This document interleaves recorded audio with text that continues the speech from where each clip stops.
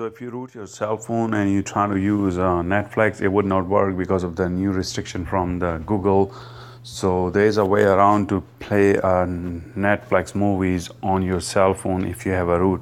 For that, you have to have a Magisk, and then once you install, there is another whole procedure how you install this and I'm gonna pro- provide the link on the description where you can go and download this. But you have to have this to unrooted phone.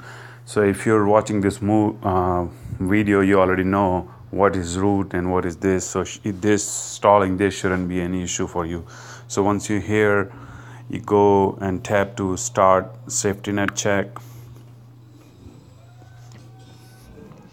So either way, if it's failing CTS profile, that's fine. But as long you're f- passing basic integrity, then you should be good. And sometime on this ROM, I could not pass both, but some ROMs you would able to pass both. So once you see you in passing one, then you gotta go here and then go to the download and then go to the search and type Netflix. And then you download this so, uh, uh, module within the um, Magisk and you install. So you click on download and then you click on install.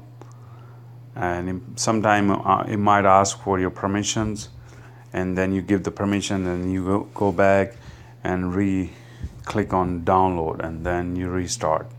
So on my case, I just click once and it didn't ask for the permissions, but you might. So you go back and redo it and install and once you install then you click on reboot and it will reboot and you don't have to do anything and once you once it's reboot you go back and play netflix and it should work